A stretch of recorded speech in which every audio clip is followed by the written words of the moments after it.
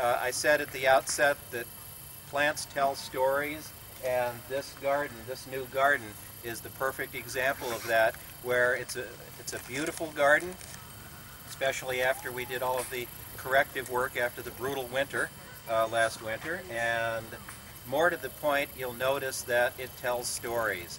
There are three stories. When you came in, you learned about the diversity of rhododendrons and their evolution and the fact that there are a thousand species of rhododendrons, that azaleas and rhododendrons are all the same thing, and then you get into this area, and it's all about how do you take that natural diversity and turn it into cool plants for uh, home gardening, and then finally, how do you garden successfully with rhododendrons? So this brings the formal ceremony to a close. Um, anybody have any questions about anything? She would appreciate that. Leaf arrangement, ovule uh, classification. Look right here. Go right. Thank you.